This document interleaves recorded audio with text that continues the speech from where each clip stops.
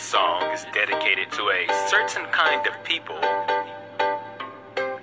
which just so happens to be my other favorite kind of people. You know, the ones that like to, you know, hurt themselves, bro.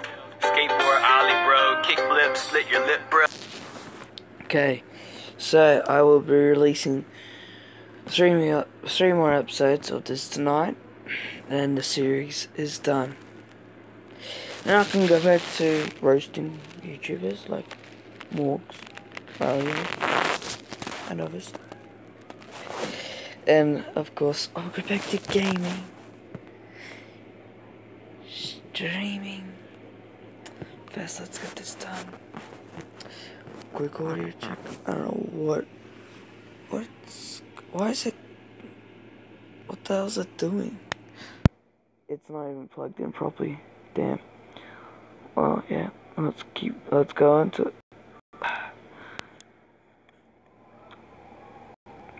all, can we just not work? Like, can we just not be pizza delivery people? This happened four years ago when I was still in high school. I was told to do my last delivery of my shift. I got in my car, which was a 1999 Camry, perfect for delivering pizzas. I GPSed the address on my phone. I live upstate in the country, so all pizza deliveries were long drives. I remember the sun was starting to set, so it was probably around 7 o'clock. I'd say after a good 15 minutes of driving through the foresty dirt roads, my GPS said I had arrived. It was an old little cottage like house made almost entirely of wood. It was Come sitting all by itself in the middle of absolutely nothing but forest. The lawn was completely ah. unkept, as the grass was almost at knee height. I was used to this kind of thing, so I didn't think much of it. I took the pizza to the front door. There was no doorbell, so I knocked loudly on the door. Within 10 ah. seconds, I heard the sound of footsteps hitting wood on the inside of the house. The footsteps made it to the door and stopped. I started to feel uneasy. I got the feeling that I was being watched. And that's when I noticed there was a peephole in the door. It's the pizza guy, I called out. I heard a low, harsh sounding voice on the other side of the door, telling me to bring the pizza out back. I didn't like the idea of going back there. Something didn't seem right. Are you sure, sir? I called out. He didn't answer my question. The sound of footsteps didn't move away from the door, so I had the feeling he was still watching me. I almost found myself walking back to my car, but I decided I didn't want any trouble with my boss. The last time I brought a pizza back, he gave me attitude, so I reluctantly walked through the uncut grass and around the small house to the back. I remember there was a shed. Why has it gotten dark all of a sudden? Like In on the patio, there was a table with four chairs surrounding it. In one of the chairs, facing away from me, I saw the head of somebody sitting in the seat. I began walking over and said, Excuse me, but the person didn't even move an inch. Excuse me, I said again louder. Then from behind me, I heard, Psst, over here. I turned around to see a man poking his head out from the corner of the house, looking What at the me with hell? a crazed smile. Looks like that one guy from uh, Fat Pizza. Uh, you know, got the chainsaw. Come over here. I want to show you something. I'm I good. freaked out, turned around, and ran around the house in the opposite direction. Back It's um, what's the name from? my car, for some reason still holding the pizza. I got in my car, started it, and got away from there. On my way back to the pizzeria, I pulled over to the side of the road and called the police. Eventually, I was informed that there was no sign of anybody having been in that house for a long time. I quit my delivery job a few days after that. I have no idea what would have happened to me had I gone up to that man. But to this day, I still wish I just turned my head to see who or what was sitting in that patio chair. Okay, let's move on to the next one.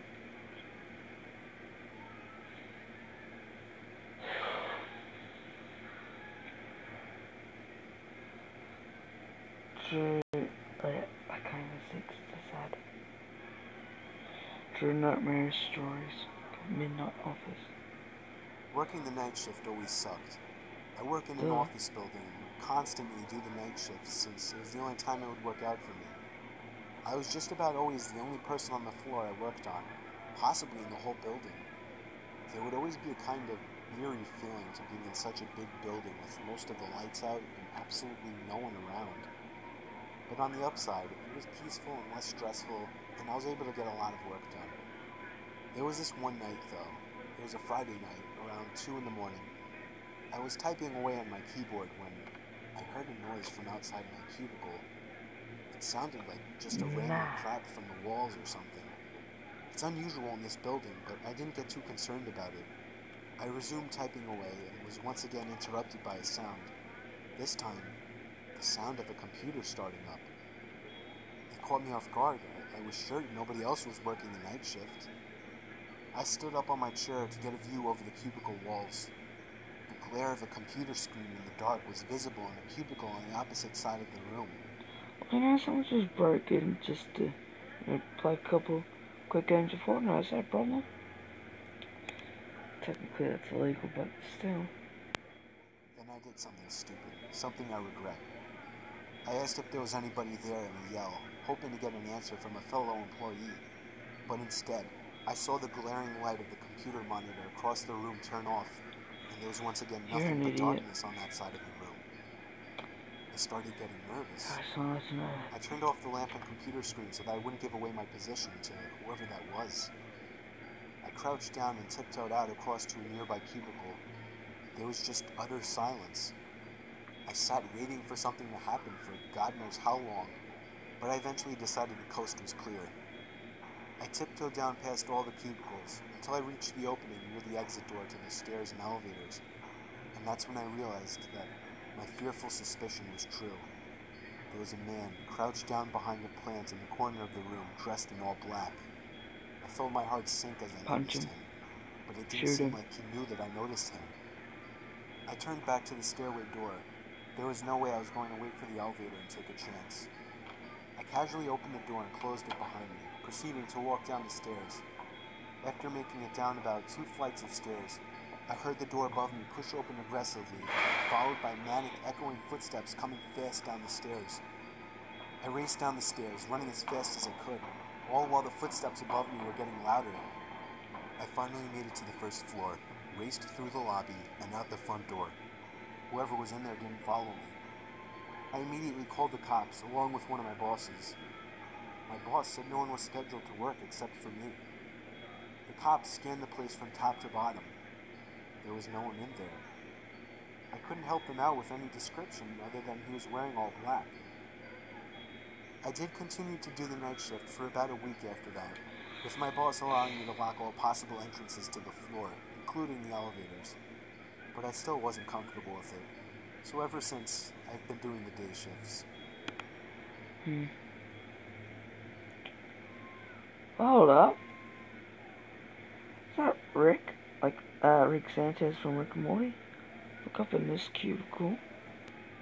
Not one of up here. Hmm.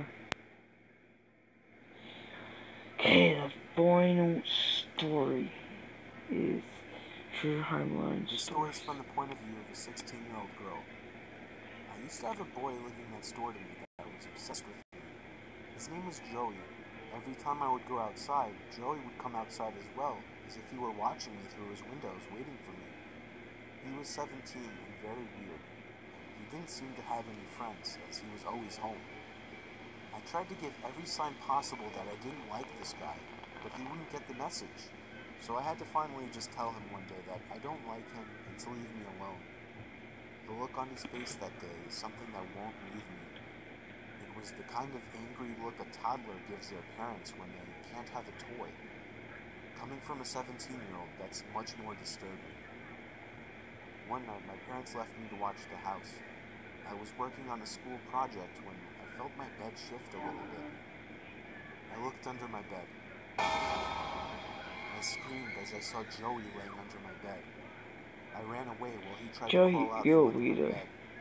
I ran If I a sword and out, I would bell at least grab him, choke him, about it when they opened the door. kick him so hard, Joey never came right in the nuts, so the and just punch him in the face non-stop. not to, but I ignored them. The police found him still in my room and arrested him. Apparently, he admitted this wasn't the first time he had hid under my bed. They also found pictures of me scattered across his room. The most disturbing one was of me sleeping, and it was taken from inside my room. Okay, that'll be it for the video. Hope you enjoyed it. I'll see you all next year. Bye bye. This song is dedicated to a certain kind of people, which just so happens to be my favorite kind of people. You know, the ones that, you know, you're standing next to them and it all of a sudden it gets dark. I mean, I mean, you know, your your best friend is you know what I'm saying, right? I'ma steal your shoes. You better hide your wallet, cause I'ma take that too. Black people.